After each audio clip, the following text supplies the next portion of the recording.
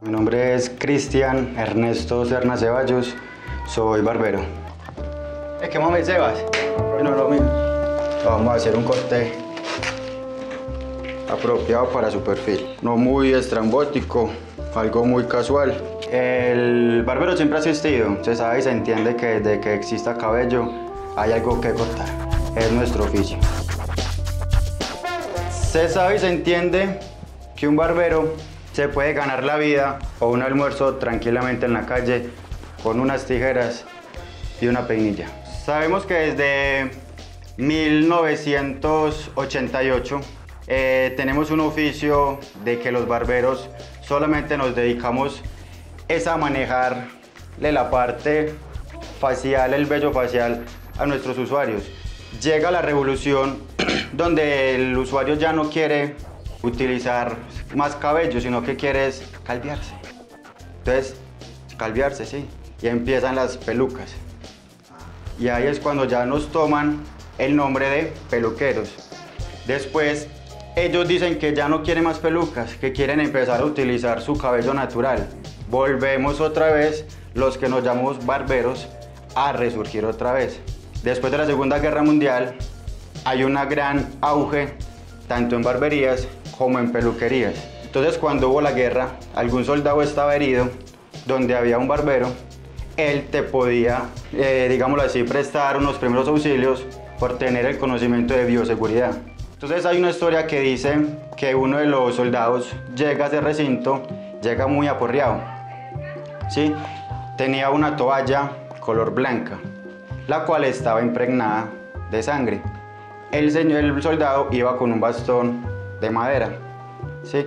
Entonces el cirujano, el barbero, le dice, por favor se retira la venda y deja el bastón allá afuera. Por cosas de la vida, el señor deja las dos cosas juntas. ¿Qué pasa? El bastón está parado, pero la toalla da un giro, entorcha el palo.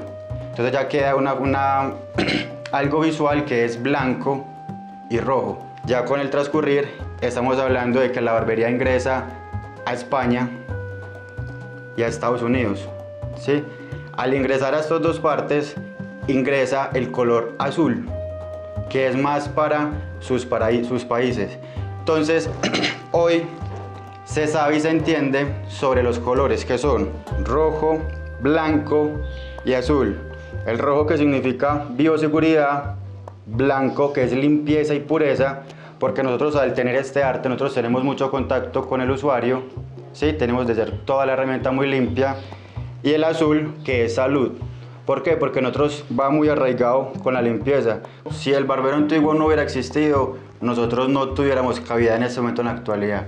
Esta es la barbera antigua, la que no tiene su cuchilla movible y esta es la tijera de precisión, la cual nos va a servir para cortar el cabello a un mismo nivel, ya sea a un centímetro o a dos centímetros. Ahora seguimos con la patillera. Esta patillera es muy fácil de trabajar porque es inalámbrica. Nos va a dar un corte muy bonito y muy preciso.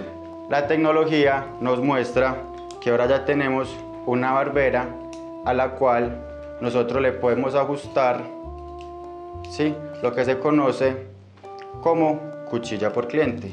Esta es una Flex Razor. Esto nos da la facilidad de manejar o maniobrar para hacer mejor un, acabado, ya sea en tribales, diseños o formas de patillas. Esta máquina es una Wall Dessinger.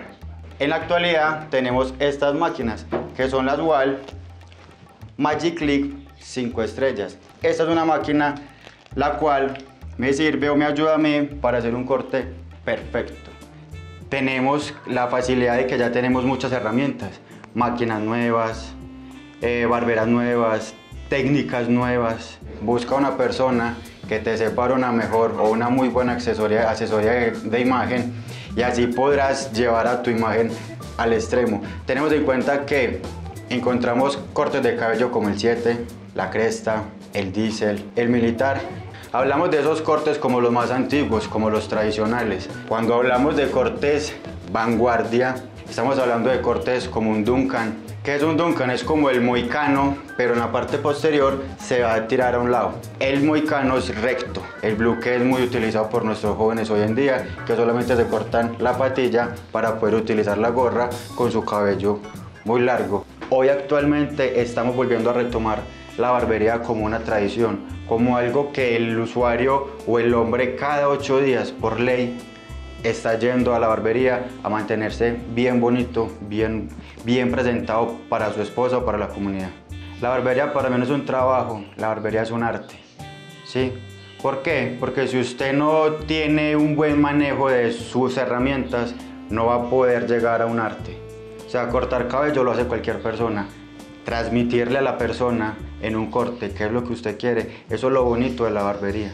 La debe de aprender, la debe de estudiar todos los días. No me gradué y ya, soy barbero, no. Se graduó y tiene conocimientos de trabajar en barbería, pero uno como barbero se crea y crece todos los días.